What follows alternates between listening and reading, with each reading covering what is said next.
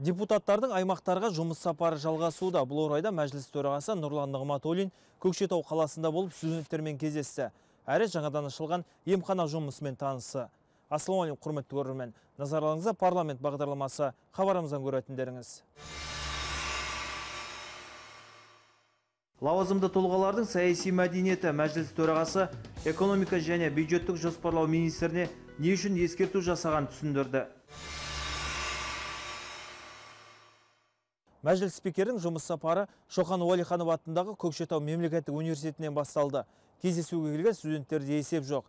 Нұрлан Нығматуллин әуелі баяндама жасап, елбасының 2 миллион стратегиясындағы тапсырмаларды жүзеге асыру бағытында парламенттің атқарып жатқан жұмысы жайлы есеп берді. Бүгінгі күні жергілікті өзін өзі басқару, мемлекеттік басқару органдары арасындағы өкілеттіктердің аражігін ажырату, мемлекеттік қызметтер, кәсіпкерлердің ұлттық палатасы, бюджет және салық кодекстеріне өзгерістер енгізуге қатысты заңдар қабылданды. Жоғары оқу орнында оқып жатқан студенттер болашақ педагогтар, тарихшылар, экономистер. Сондықтан спикерге қойылған сауалдар сан алуан. Көп партиялы парламенттің ерекшелігін Экспо 2017-ге дайындық тіпті депутат болудың жолын сұрағандар да табылды. Спикер сауалдарды жауапсыз қалдырмады. Әрі 2050 стратегиясын жүзеге асыруда жастардың рөлі маңызды екенін атап өтті. На сегодняшний день, благодаря президенту, перед нами... Бүгінгі таңда елбасының арқасында жастарға үлкен мүмкіндіктер ашылып отыр. Менің ойымша біздің әрқайсымыз еліміздің дамуы үшін жақсы оқып, жұмыс істеуіміз керек. Өйткені Қазақстанның болашағы білімді жастардың қолында. Думаю, что сейчас, на данный день, Меніңше қазіргі кезде кез келген жас өзіне ұнайтын жұмысты таңдай алады. Жаңа жұмыс орындары ашылып жатыр. Жаңа инновациялық идеялар жүзеге асуда. Президенттің өзі жастарды әркез белсенді болуға рухтандырып жүреді. Жастар кедендік одақ Қазақстанның дүниежүзілік сауда ұйымына кірудегі басымдықтары мен Еуразиялық экономикалық одақ құру мәселелерінде көтерді. Бұл орайда мәжіліс төрағасы Қазақстанның ішкі нарығы шектеулі, экономиканың одан әрі өсу үшін нарықты кеңейту қажетін айта келе, экономикалық интеграция уақыт талап екенін түсіндірді. Әрі тоғыз жылдың торабында орналасқан еліміз транзиттік әлеуетін тиімді пайдалану арқылы да зор пайдаға кенелетінін еске салды. подобные встречи Мұндай кездесулер студенттерге, жас ғалымдарға өте пайдалы. Өйткені елімізде қандай заңдар қабылданып, қалай жұмыс істеп жатқанын біле алады. Сондай-ақ студенттердің өз пікірін айтып, ұсынысын жасауға мүмкіндігі болады. Кездесуде спикер саяси мәдениет мәселесінде қозғай кетті.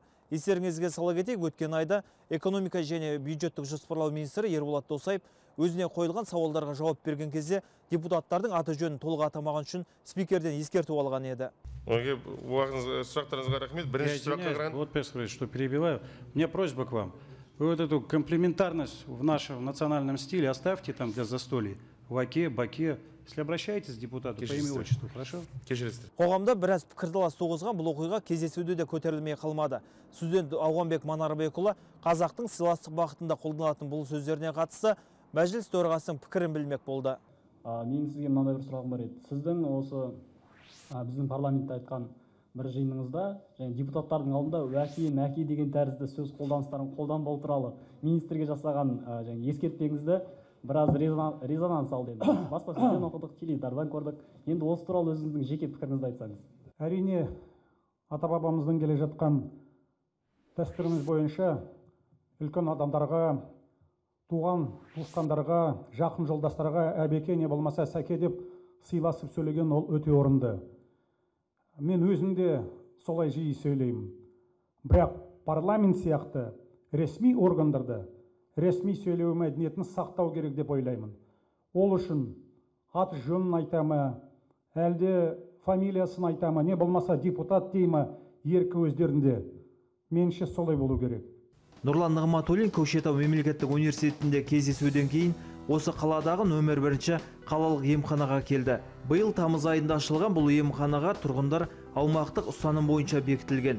Бұл жүйенің басты ерекшелігі бүкіл отбасын бір мекемеде бақылауға және медициналық қызмет көрсетуге қолайлы. Спикер емхана бөлімдерінің жұмысымен танысып, медициналық қондырғыларды көріп, қызметкерлермен әңгімелесті. Осымен біздің бағдарламамызға бөлген уақыт аяқталды. Ал келесі хабарымызда парламенттің осы аптадағы жұмысына қорытынды шолу жасаймыз. Аман, сау болыңыздар.